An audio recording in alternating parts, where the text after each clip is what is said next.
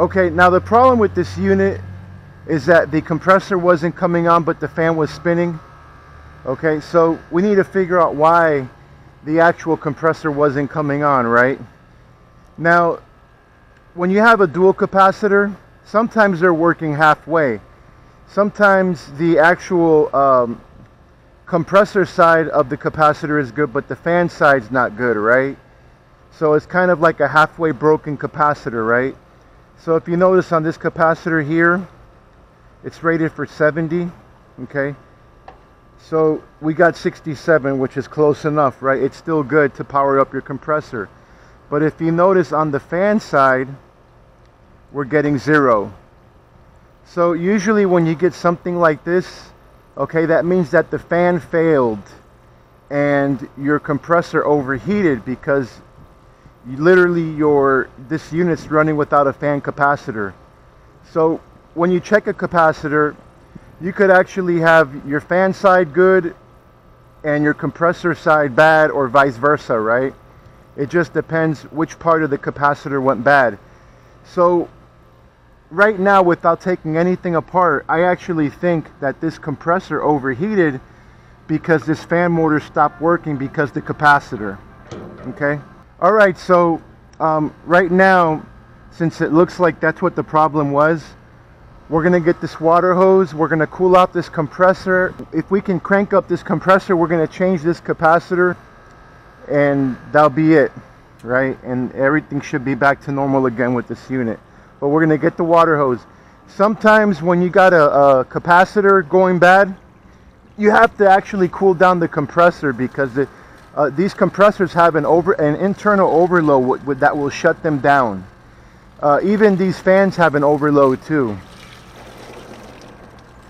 What you do is you put some water in it and you can see how it evaporates really quickly. If these motors evaporate really quickly I'm pretty sure that this thing heated up. You can see that I dropped water on this motor and all that water on it just evaporated it really quick. So this this motor has to be really really hot right another way you can check this mortar out you can use an infrared gun. See it's about 138 degrees it was running hot right? And this is after the water right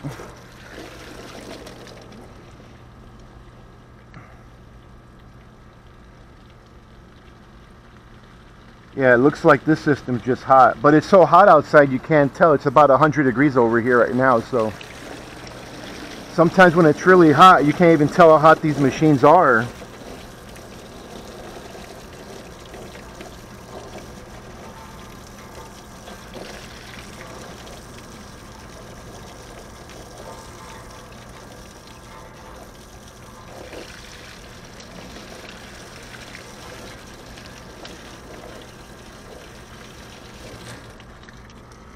Now what you can do too if um, if you suspect that the compressor just overheated, if you throw water on this compressor, you can see actually the vapor just fume off the compressor. Yeah, you can see there's just vapor on this compressor just fuming right now. All right, let's see if we can get this compressor on.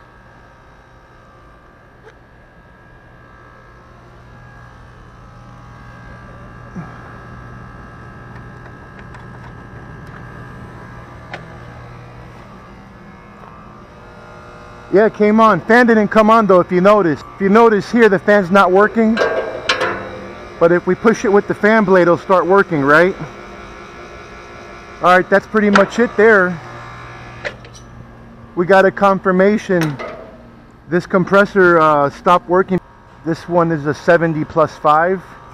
Let's see if I got one. All right, so your hermetic is going to be your purple wire. It's, it'll say it there, hermetic. So this is going to be your hermetic. Now just to explain this to you, your common will usually always have four, four prongs coming out of it. Your hermetic will have three and your fan will have two. That's another way you can identify uh, which, which belongs to what, right? So this is going to be your hermetic right here. Okay, this has two, right? Just like this one. So this is going to be your fan. And then these two will be your common. And we're all done with this job. Okay, that's pretty much it. You're all set. Uh, we're gonna put, put in the breaker. Everything should start working now.